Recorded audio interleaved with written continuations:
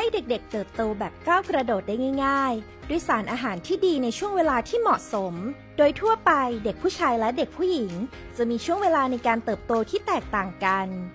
แต่จะมีช่วงหนึ่งที่ร่างกายมีการเจริญเติบโตอย่างรวดเร็ว หรือที่เรียกว่า growth spurt ซึ่งนั่นคือช่วงเวลาทองที่จะเสริมสารอาหารที่มีประโยชน์ให้กับลูกๆได้อย่างเต็มที่ ช่วงเวลาทองของเด็กผู้ชาย จะเริ่มเมื่ออายุ 10-14 ปี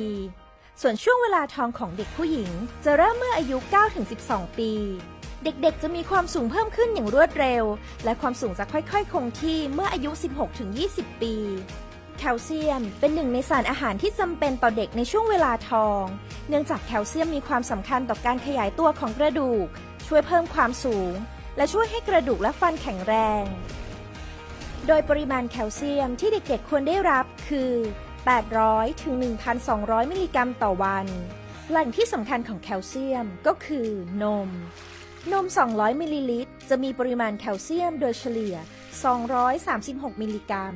ซึ่งเด็กๆ ต้องดื่มนมถึงวันละ 1 ลิตร จึงจะได้แคลเซียม 800 ถึง 1,200 มิลลิกรัมต่อวัน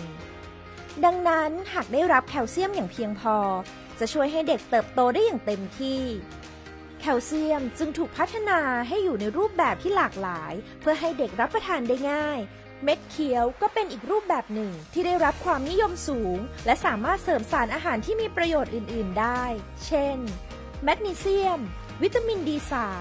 สังกะสี และทองแดง รวมถึงการพัฒนาไปเป็นเม็ดเคี้ยวสูตรไม่เติมน้ำตาล และใช้สารให้ความหวานแทนน้ำตาล เช่นไซลิทอลเป็นต้น แต่น้องๆ หนูๆ ก็อย่าลืมรับประทานอาหารในแต่ละมื้อให้ครบ 5 หมู่ ในสัดส่วนที่เหมาะสมด้วยนะคะ ด้วยความปรารถนาดีจากมิลค์แคลซีนไฮพลัสและช็อกโกแคลซีนไฮพลัส